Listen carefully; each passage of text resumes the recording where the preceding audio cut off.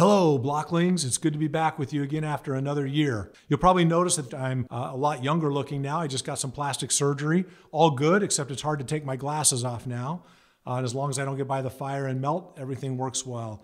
We've had a tough year, but it's been a good year too. It's allowed us to focus, it's allowed us to really pull together as a team and get set up for this next year. I just want to say thank you to all of you for all that you've done. Whatever you celebrate, take time with family and friends, decompress, and we'll look forward to seeing you on the other side and ready to get after it. So, with that, Chief Blockhead out.